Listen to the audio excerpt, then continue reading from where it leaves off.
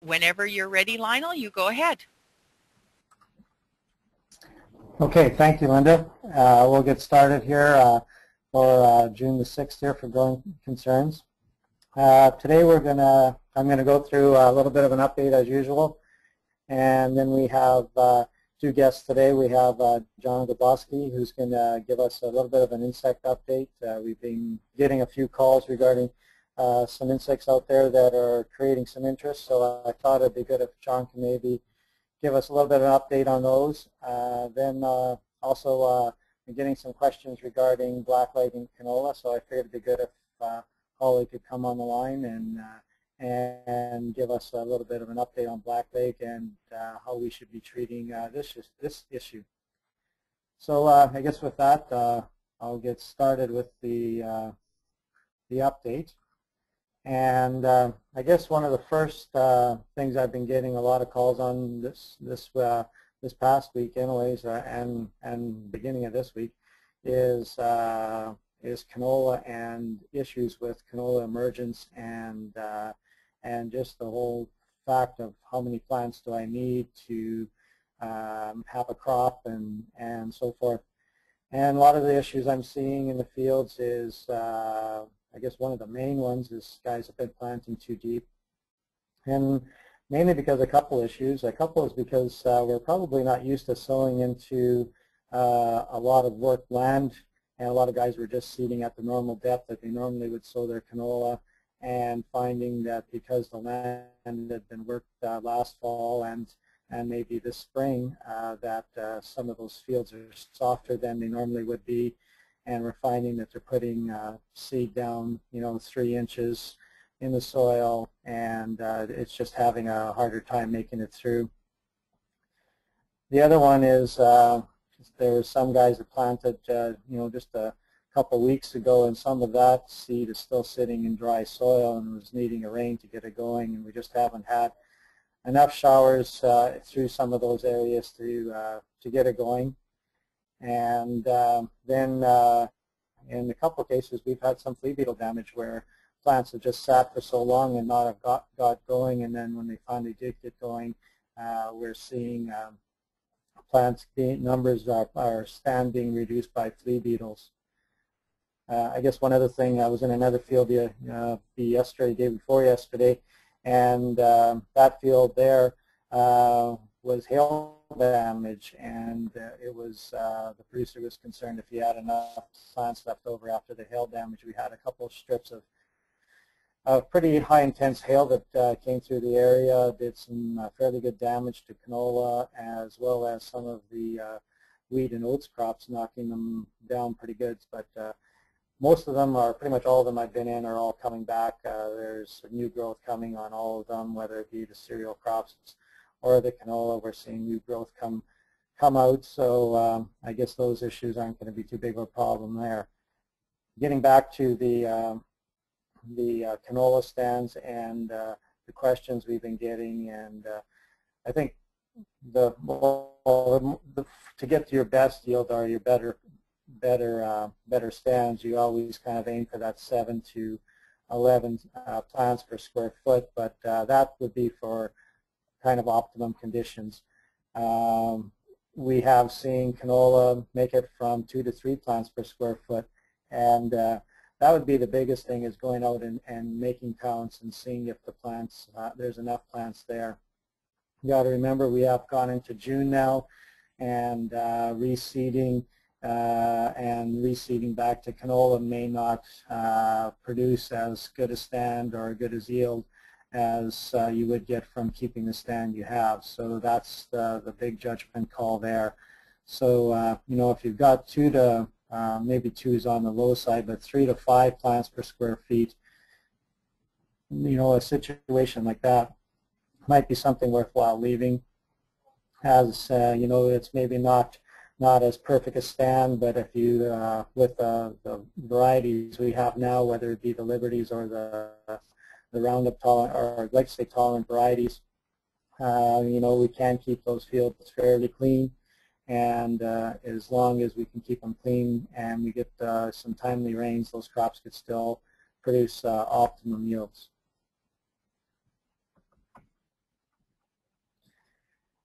leaving uh, the uh, canola thing and getting over to the winter wheat. Um, some winter wheat's uh, a little bit more advanced. Uh, some of it I was in a field actually yesterday that was actually uh, the heads were were head were were probably 50% out already, which was probably the most advanced field I've seen.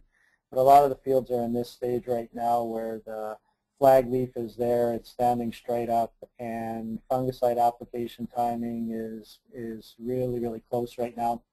So the decision producers are going to need to make is whether they want to spray for disease control or spray for fusarium control. And then once they decide that, then they need to determine the timing. So uh, again, depending on what you're looking at for uh, for weed or for disease control, uh, um, for you know just leaf control, once the flag leaf uh, starts to turn down, where uh, you'll begin better coverage, uh, which in this case is probably going to be later on this week uh, producers would be spraying these fields. If you're going to be waiting for fusarium control, you'd be waiting for the head to start emerging and uh, just before flowering. So in that case, you probably have, you know, probably to the middle of next week.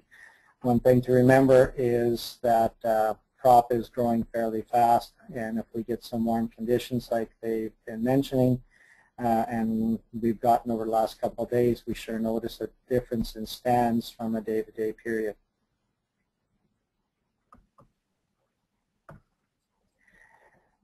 This is a, a spring cereal, uh, spring wheat crop, and uh, I mentioned, or we talked a bit about um, some, a couple of the previous uh, webinars regarding um, timing of application of herbicide and also uh, tank mixing. And uh, we're running into, or getting a few calls this past week regarding crop injury on on uh, on several different uh, different issues. And uh, I guess one of the things is uh, when we're we're we're doing a tank mix and we're we're we're doing more than just the herbicide we're also throwing in a, uh, a fertilizer as well as a fungicide, we have to be cautious as to the uh, growing conditions at the time and uh, and the damage or the crop tolerance issues that may be uh, may, may, be, may become a factor because uh, when you do start adding uh, other products to your your normal herbicide mix, you can heat up those products and cause more injury to the crop. So um, I was in fields uh, the last couple days where producers were concerned just about the, um, just mainly concerned about their, uh, the crop is yellowing and uh, and what uh, you know what what can be done or if they did something wrong. And and basically all of the, what they did wrong or you know what happened this year as compared to other years is uh, the chemical and the growing, growing conditions are good chemicals working good, and then they heated it up by adding uh, another sticker like a fertilizer or uh, fungicide. So basically the chemical stays on the plant for a longer period of time, and because of that, it, it takes longer for that plant to break down the, uh, the chemical, and that's why we're seeing more crop injury than we normally would see. In pretty much 99% of the cases of the fields I've been in, uh, you definitely see uh, new plant uh, growth, and so it's it's more like uh, just a, a stampede type effect. If we remember back when we used to be using stampede as a chemical, and it would be uh, spray and leave it for a week and don't go back because otherwise you'll be really discouraged as to the, what the crop looks like. But in most of these cases, the crop is coming back. The next slide here is uh, a weed that uh, guy got sent to me this past week, and uh, I'm not 100% sure what it is. So I wanted to put it on the webinar today just to see if anybody else has some ideas on it.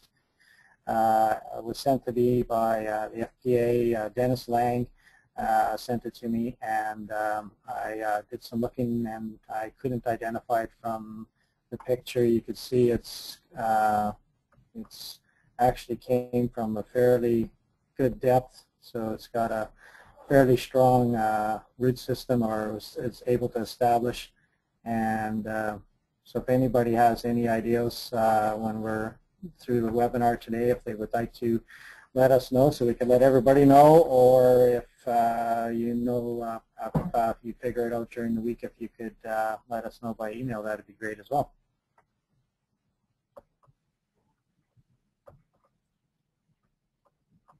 And again, just a couple more pictures of the, the tank mixes and uh, some of the yellowing we were seeing in the crop.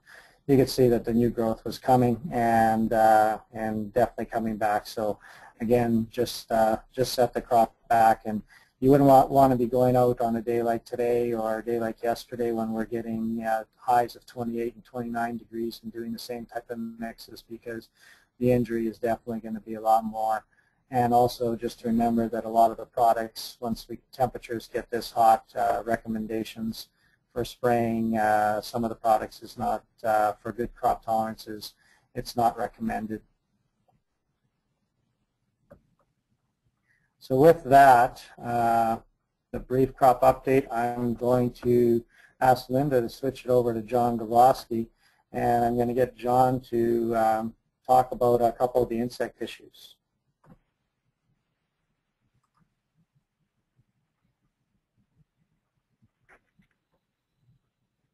Okay, uh, you can hear me okay, Linda? Yes, we can hear you, John. Go ahead whenever you're ready. Okay, I'll kick it off here then. Okay, um, I'm going to focus on leaf hoppers for my presentation today just because um, numbers of one particular species are quite high this year, and I've been getting a lot of questions on leaf hoppers, so I'll try to address some of uh, the more common questions I've been getting. But just as a uh, brief intro to leafhoppers, uh, when we talk about leafhoppers, there's a lot of species of leafhoppers out there. Um, here's some stats in the first slide here. In Manitoba, we've got over 350 types of leafhoppers. And worldwide, there's actually over 20,000 species.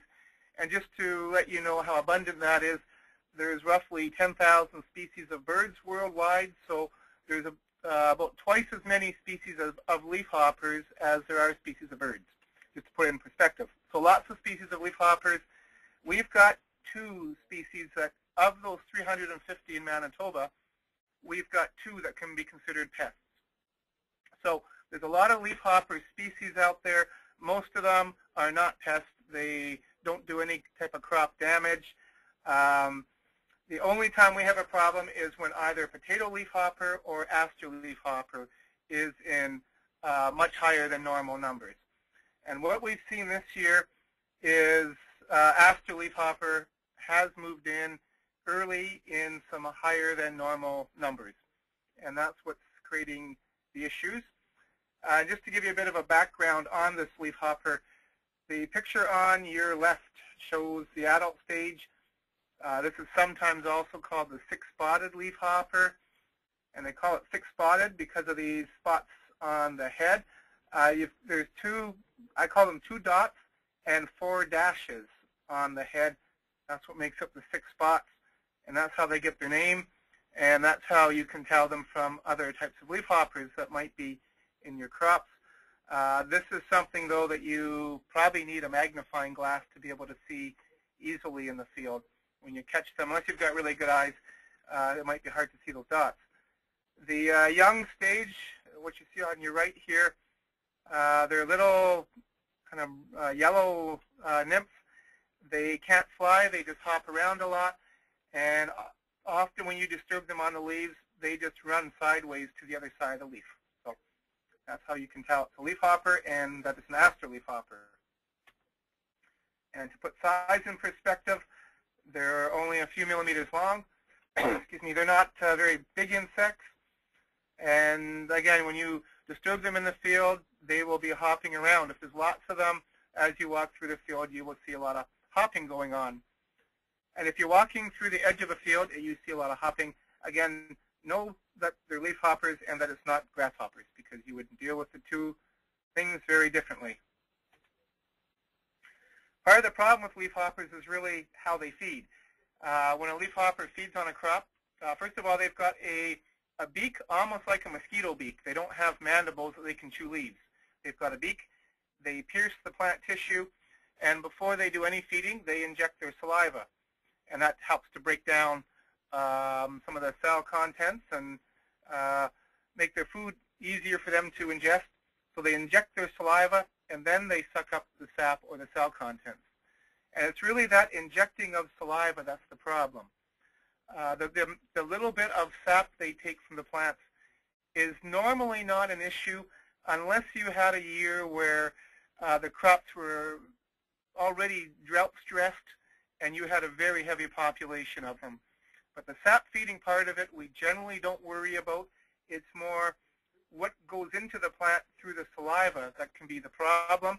And in the case of aster leafhopper, they can spread, uh, it's called a phytoplasm. I won't use the word virus because the pathologists will give me a heck. It's technically called a phytoplasm, and it can cause some uh, disease symptoms on the plants. And I'm going to focus on cereal crops. Here right now, uh, that's where people are seeing a lot of the leafhoppers is in the cereal crops. And I guess the bottom line in a nutshell is we don't have economic thresholds for aster leafhoppers and cereal crops, and it's hard, really hard to predict how bad uh, the feeding will be and how bad the disease would be, so it's hard to make recommendations. They certainly can cause aster yellow's symptoms in cereal crops, and here's a picture of barley. This is with um, some more severe aster yellow symptoms, which can look very similar to barley yellow dwarf. The two diseases often get confused in cereal crops. So once again, um, upper leaves here are your um, barley yellow dwarf, and um, on the bottom here, you can see some yellow leaves.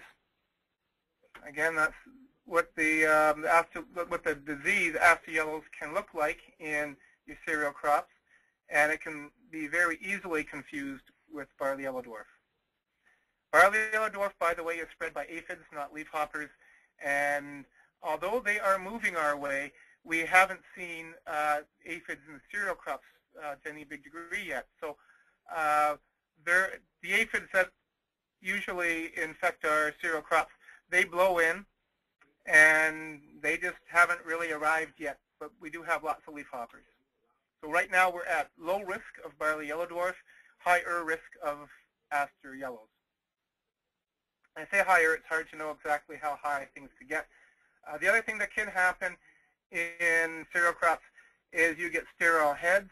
Um, so here's on your left a healthy uh, barley head, and the ones on your right are plants that have been infected with aster yellows, and sometimes you get some very deformed-looking heads with um, sterile, they're basically sterile heads, uh, no seeds in them.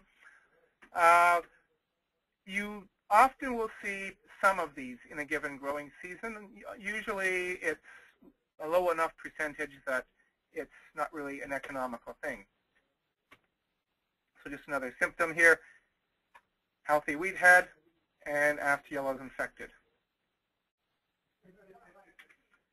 And uh, re really, um, based on experience in Manitoba, uh, economically, aster yellows has been visible, but probably of low economic concern in our cereal crops.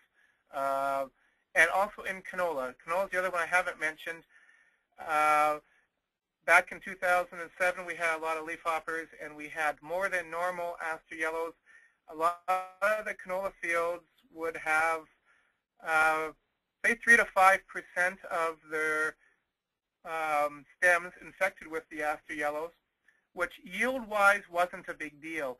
But what did happen is when you drove by or walked into those fields, when the pods got heavy and the crop was starting to lean, any stem that was infected with the aster yellows was standing straight up because they're lighter than all the rest.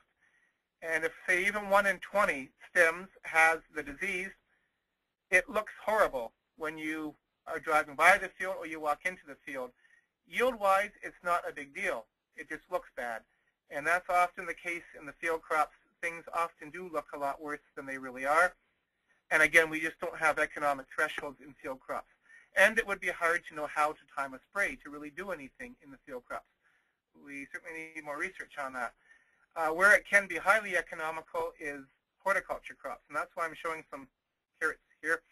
If there are uh, horticulture growers, um, potato growers even in the area, they certainly should be aware of where there are the higher aster leafhopper populations, and there would be much more incentive for the hort growers to be spraying insecticides than for the uh, cereal growers. This is uh, carrots, and what carrot growers will do when they know there's a lot of aster leafhoppers in the area, and if they know that they're highly infected, they will go on regular spray programs throughout the summer, and often weekly or every two weeks they're putting on sprays. Uh, and even then they end up getting some aster yellows in their crop, but it will be reduced comparative to if they didn't do any spraying. In cereal crops, there's really been only one good study where they looked at the effect of insecticides on aster yellows. In, this case, for the study, it was a barley crop. Uh, what they did at Ag Canada in Winnipeg, this was back in the 70s, they sprayed uh, 15 times um, starting when the barley was in the seedling stage. So every Tuesday and Thursday, they were spraying with malathion, and they had a few other insecticides, endosulfan and a few others. So they would spray every uh, twice a week for eight weeks from the seedling stage onward. They still got some aster yellows in the barley. It was certainly reduced compared to their checks, and the yield was certainly a little bit greater compared to the checks.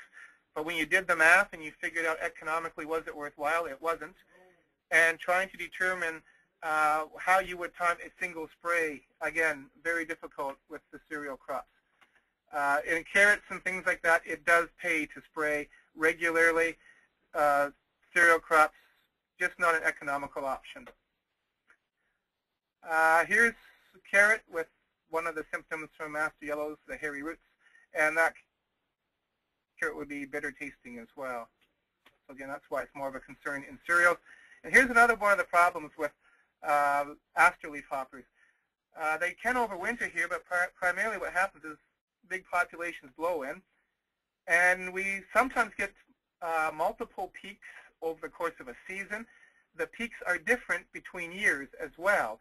So what this graph is showing, a study done in the Saskatoon area from 2001 to 2003, and they were trying to show when the populations were peaking in canola fields. And what the graph does show is, again, the peaks were different in different years, and in some years, uh, such as 2001, you potentially would have multiple peaks throughout the season. So again, if by chance a person was trying to time a spray to actually make a difference, it would be hard to know how to do it. Uh, so again, they're really it's hard to give recommendations to growers as to what to do in field crops because there just aren't recommendations for how to manage them in the, the field crops. And whether do tank mixing an insecticide with a herbicide will do anything, it's really a hit and miss type of thing. It, odds are it's probably not going to do much. It, you, you may get some reduction in aster yellow levels. It's hard to say for sure. It's a hit and miss thing. And uh, certainly nothing that we could go on record as recommending with confidence that there's going to be a return. So I mentioned aster leafhoppers primarily blow in. Uh, they can overwinter here in the prairies in the egg stage. That's been determined in Manitoba. And in Saskatoon, they found that some years they can also overwinter as adults, but usually in very low numbers. Usually uh, overwintering success isn't that great on the prairies, and primarily what we get blows in. And once they get going, uh, we usually get four generations of them in Manitoba. Uh, study in Saskatoon, they found two to three generations in the year they did their study. Manitoba, again, this is very old research, but uh, four generations. So anywhere from two to four generations per year. A warm year like this, we're probably looking at four generations. And things that eat aster leaf hoppers, there are some good bugs out there that will um, at least reduce the population somewhat eventually. There's a parasitic fly that um, in some years can decrease the population by up to a quarter.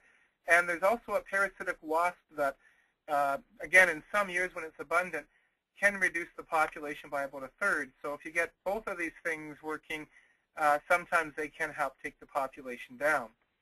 And this was research done in Manitoba uh, directly on aster leafhopper. And there are a number of predators as well for leafhoppers. Uh, damsel bugs are fast enough they can catch leafhoppers and feed on them, pirate bugs. And the, the young, um, young stages of leafhopper potentially could be eaten by things like lady beetles and lacewings as well. So there are a few good things there that might help out a little bit. So I'm going to uh, maybe end there. If you have any questions on leafhoppers or any of the other insects that I didn't cover this week, I'd be happy to take them.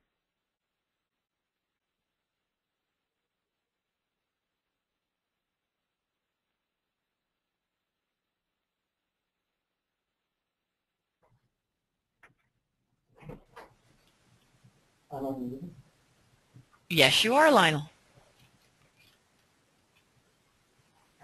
Hey, John, uh, any questions, Linda? No, I don't have any questions at this time. Okay, well, uh, John, I've got uh, maybe a couple for you.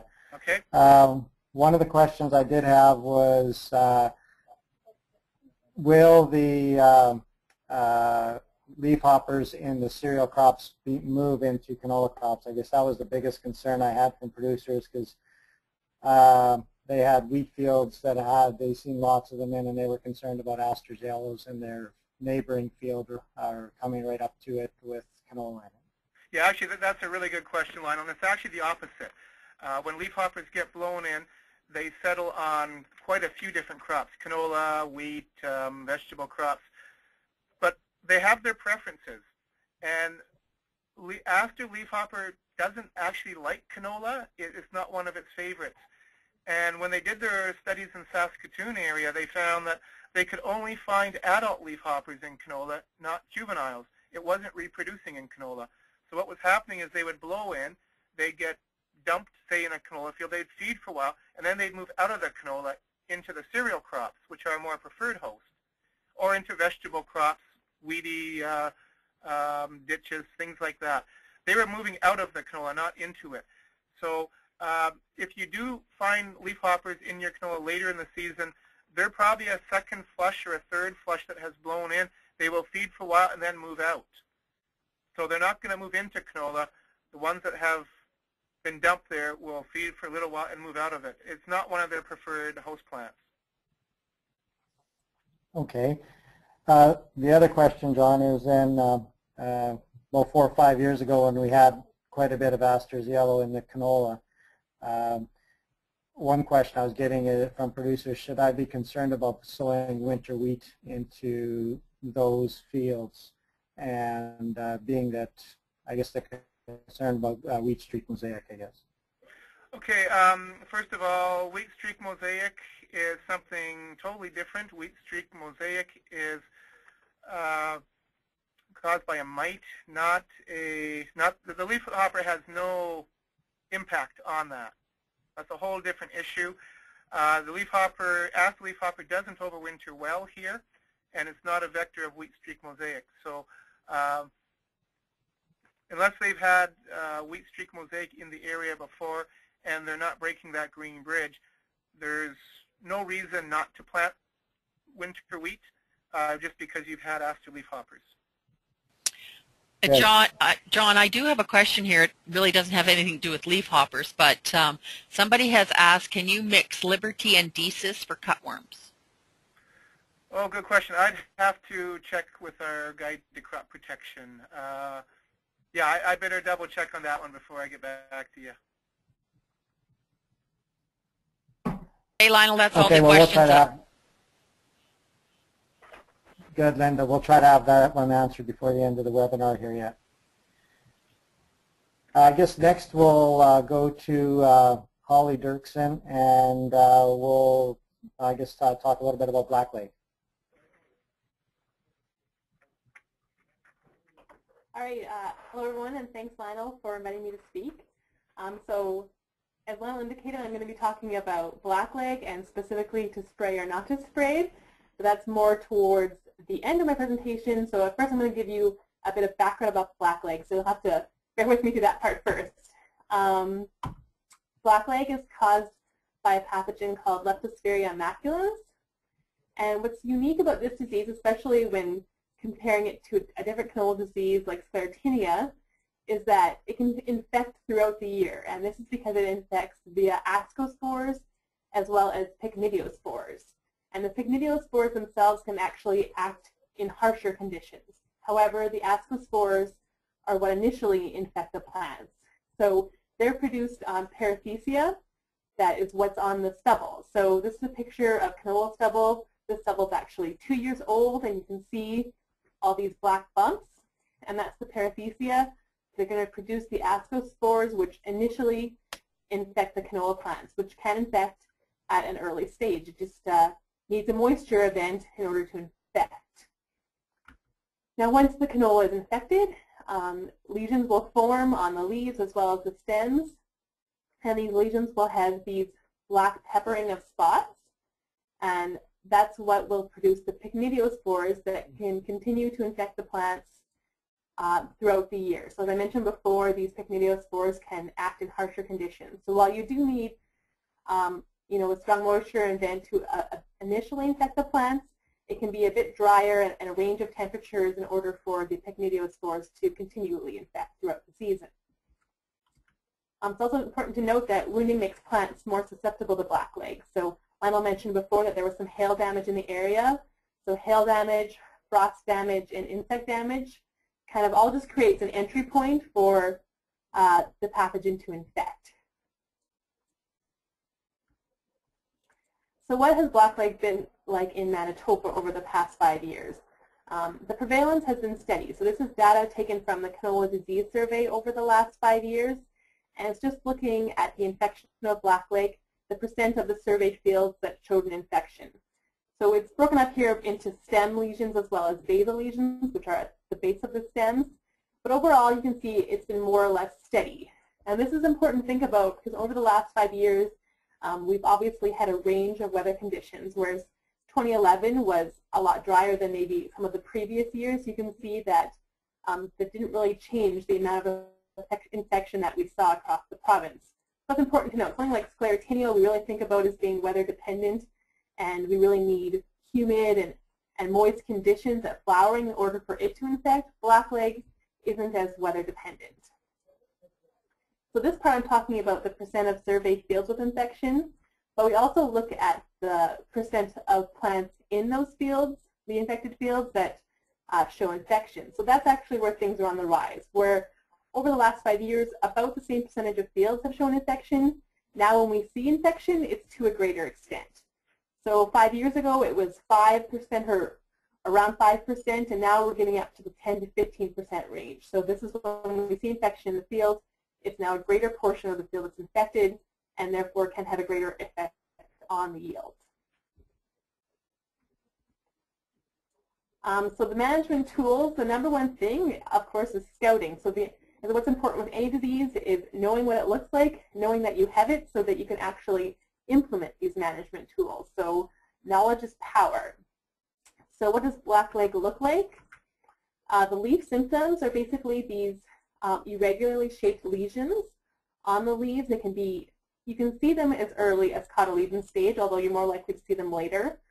And these lesions will always have these black peppering of spots, which are, as I mentioned before, the pycnidia. Um, you can also see lesions on the stems. So you'll have these longitudinal, um, gray colored kind of lesions, It almost looks like bleaching sometimes. And then occasionally on the stems as well, you will see these pycnidia. When you cut open these stems, you will often see discoloration in the cross-section. And at the, especially at the base of the stems, you don't necessarily need to see a lesion, but I would encourage you to go out, the, out there and, and cut open some randomly selected stems just to see, because you can see this discoloration without seeing a, a lesion on the outside. So it's important when you're scouting just not to look just at the plants that look sick, but to just randomly select plants and cut them open to see what you see in the cross section. Also, it's important to know that there are some diseases out there that uh, look like blackleg. So one of these is Alternaria black spot. So as you can see on the leaves, uh, these lesions can look fairly similar. Um, they can be similar in color as well as in shape. However, with blackleg, you will always see the black peppering of spots within the lesion, and you won't see that with alternaria. I'm sure many of you are familiar with alternaria or have seen it in your fields before. It's relatively common and can occur in patches. You can see it on the leaves as well as on the pods. Uh, generally, uh, not of econ economic importance. You'll just see a few patches, but it's not going to be yield limiting. So it's important to know the difference between these two. Another look-alike disease is gray stem. So this picture is showing black leg symptoms and gray stem symptoms. So the black leg symptoms are actually these ones on the left where you see these basal lesions. And you can't really tell here, but if you cut these open at the base, you'll be able to see discoloration in the cross-section. And on the right here, we have gray stem. So although gray stem looks a lot more scary in this picture, it actually shows up uh, post-swathing. So this is a disease that comes in after the crop has already ripened and the yield has already been determined. However, it can occur in patches in your field, and if you're walking through the field after swathing and you see a big patch that looks like this, it can look quite devastating, but um, cut open these stems, they'll most likely be hollow and brittle, whereas these stems will still be intact and we'll be able to show you the discoloration. If you see these hollow and brittle stems, it's most likely gray stem that came in post-swathing, as I mentioned, and it didn't have an effect on the yield. So another management tool is rotation.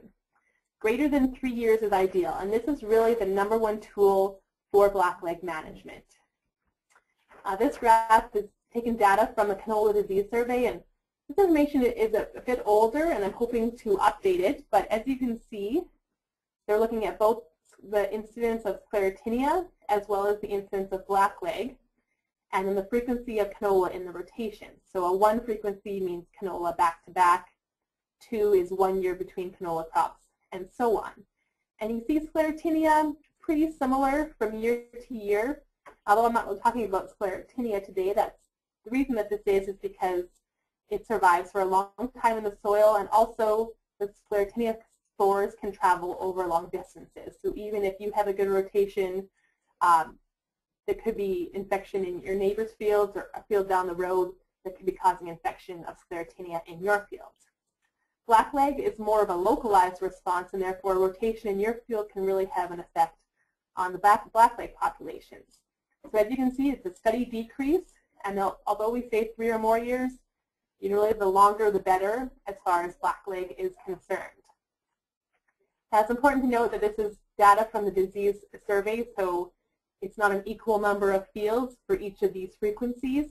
It's however many fields happened to have a one-year or black or canola back-to-back, -back, which obviously will most likely be uh, a lower number than the number of fields that have one year in between or two years in between. So keep that in mind, but it's still important information to have.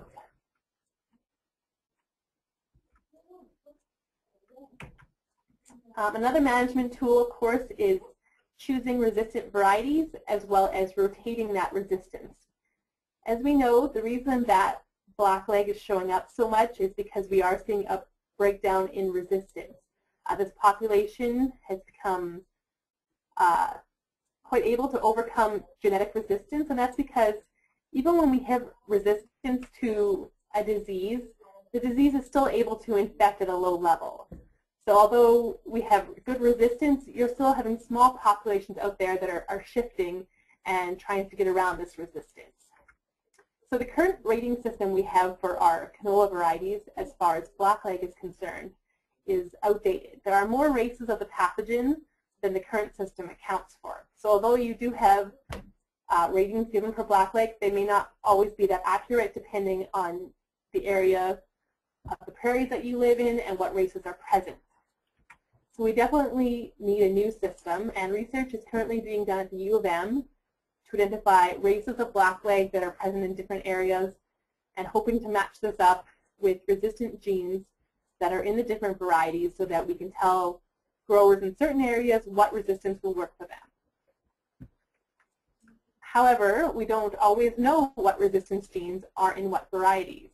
And this is something that we're hoping to work towards by working with seed companies and being able to develop a system, maybe something similar to what we see with herbicides or fungicides, where we have you know, groups that these fungicides fall into group 3, these fungicides fall into group 11, and so on. In Australia, they have done this for the canola varieties and blackleg because they've had major blackleg outbreaks there. And what they do is they have varieties that fall under a certain group and different varieties that fall in another group. And then you can at least know, you know, I grew this type of group last year. Uh, the next time I grow canola on this field, I'm going to grow a variety from a different group. Similar to what we do with rotating our fungicides and herbicides, hopefully be able to rotate um, our resistance. However, we do not have this information currently in Canada, so the best option we have right now is rotate varieties. You may have a variety that has worked for you in the past and you've gotten good yields and you want to stick with that variety, but unlike you, the pathogen is not afraid to change and it may start to overcome that type of resistance. So although we can't be sure that we're rotating our resistance, if you're not rotating your variety, you're definitely not rotating the resistance. So the best we can do right now is rotate our varieties. And the next management tool, of course, is the fungicide application, which is the main reason that Lionel asked me to speak today. So to spray or not to spray? There are a number of things you need to consider. The first being, is it registered? So there are some products that are registered for blackleg on canola at that early stage. So the two to six leaf, I believe, is what uh, most labels indicate. Uh, the propiconazole fungicide, so bumper, pivot, propel, and tilt, uh, these are group 3 fungicides. They are registered for blackleg on canola. And then group 11s, quadris, and headline are also registered.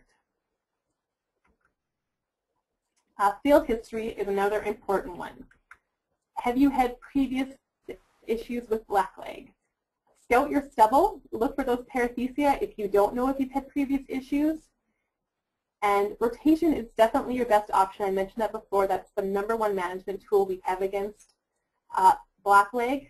However, if you still choose to have a short rotation, you know, maybe you're just looking at the economics of it and it makes the most sense, which a lot of guys out there do that, then this may be an instance, you know, if you have had blackleg before and you're pushing your rotation, that may be an instance where I would recommend a fungicide spray at that early timing. Other things to consider um, is your risk management. Is it going to pay off? Do, we, do you know that what level of risk are you comfortable with? This will be different for different growers, and it will be different year to year depending on what the crop looks like. If you're unsure, um, definitely leave a test strip. For all guys who are sitting on the fence about whether or not to do this, either only spray a test strip, or if you do decide to spray, leave a check just so that you can compare the yields. Another thing is resistance management. As I mentioned before, we talked about the fungus or the pathogen shifting to overcome genetic resistance, but the pathogen can also shift to overcome uh, fungicides and develop a resistance to fungicides. So if you do make the decision to spray, consider rotating the fungicide groups. As I mentioned, there's both group 3 and group 11 fungicides that are currently registered for blackleg. So if you decide to spray the same field again or a neighboring field and you sprayed it the last time you grew canola, consider spraying a different fungicide. And it's important to know that this fungicide application will not provide season-long control. It is registered at that early timing because that's really the best chance of, of getting to the part of the crop that is infected. As the crop grows up and fills in, um, you most likely won't be able to access the areas that will get infected by this disease. That's why it's only recommended at the early timing. Um, however, it's only going to provide you two or three weeks of control. So it'll give your plants maybe a bit of a head start depending on the disease pressure in your field. So it's important to continue to scout for symptoms. Even after, even if you decide to make a, an application at that early timing, scout, especially after swathing. You get off uh, the swather, take a walk around, randomly select stems, cut them open at the base just to see if you do have a, a leg problem so that you know for future management. And that's all I have.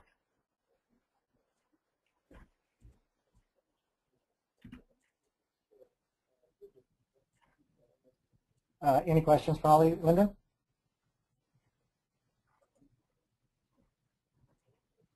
No, not at this time, Lionel.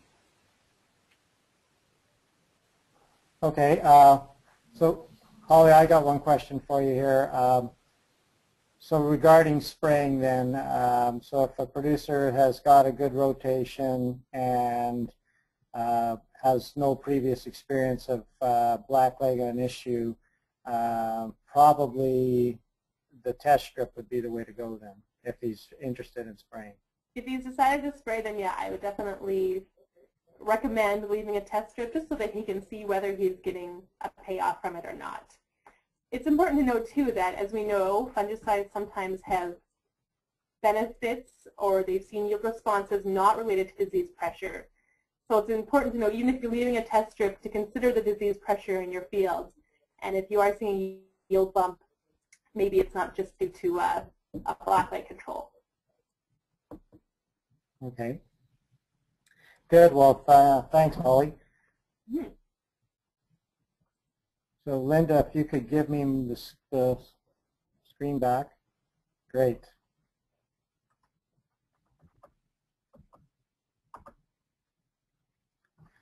One more thing I wanted to mention today was uh, I got a uh, email from Ingrid Christensen and she's the FPA at Morris, and she put together some good information on frequently asked sprayer questions. Uh, she's got this information from uh, another colleague, and um, uh, we have it available at the office here, or it's probably a bit, she forwarded it to all the FPAs, so if you have sprayer questions, and uh, we've been getting a couple of them coming through the office regarding nozzles and uh, and, uh, you know, so there was some really good information in, in this package. So uh, if you've got, uh, if you got questions or you got producers that have questions, uh, then uh, give the office a call and we can forward you this information. One more thing um, regarding the question of uh, Liberty and Decis. Um, I guess from everything I, I understand about the two products, it's not a registered tank so uh, you would probably be best to talk to your uh, uh, your your your chem dealer or or your uh, or the rep from uh, from Liberty. But uh, just one comment regarding what you're trying to control. Um, cutworms are usually best sprayed in the evening because during the heat of the day they will go down in the soil. So to get good control of cutworms, you probably should be spraying later in the evenings. Liberty, on the other hand, works better in daylight and sunlight. Uh, so you want to be spraying Liberty when you've got, uh, um, you know, a few hours of sunlight uh, after spraying because it just the product works better uh, that way. So you're kind of hitting uh, you might lose some control with one or the other. If you're going to spray all day, you definitely aren't going to get uh, much uh, control on the cutworms besides some residual that'll be left on the plant. And um, if you spray in the evening, then you're probably not going to get as good a control of the Liberty as you're, you're hoping for. So I guess that would be my concern there. And then regarding the tank mix, it's probably uh, best to contact the, uh, the rep for, uh, for Liberty to, uh, to determine that one. Uh, and I guess that's regarding that question. Is there any other questions, Linda? No, I don't have any questions right now, Lionel. Okay, well, I'd like to thank John and Holly for being on today to give us some update information on a couple of the things that uh, concerns we've been having over the last week regarding uh, insects and some disease. So uh, thanks to both of them. If you've uh, got any questions uh, or if you've got an answer for the weed question I put out there uh, for identification, if you could let us know. Here's our contact information at the office. And then this is the contact information for the FPAs in the Southwest and South Parkland. And just a note, as you can see, Andrea Arbuckle is now going to be our FPA out of the Virden area. So if you're in that area, we have uh, an FPA that will be starting there I think shortly, if not on Monday. So uh, uh, I guess with that, I'll end the webinar for today, and we'll see everybody next week.